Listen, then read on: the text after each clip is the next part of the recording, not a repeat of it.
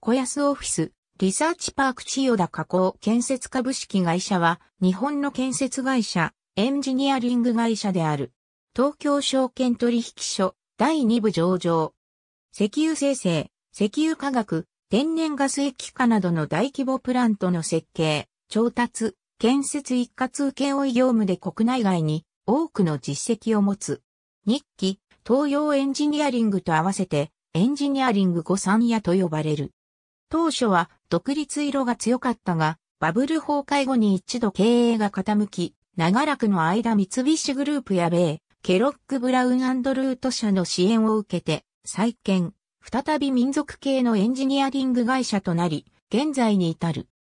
近年クリーンエネルギーとして注目されている LNG の製造プラントにおいて48%という驚異的なシェアを誇る。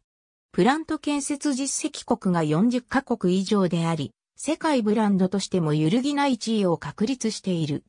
イラク北部の都市、ベージにあるイラク最大の石油生成所は千代田加工が建設し、施設改修の入札にも参加した。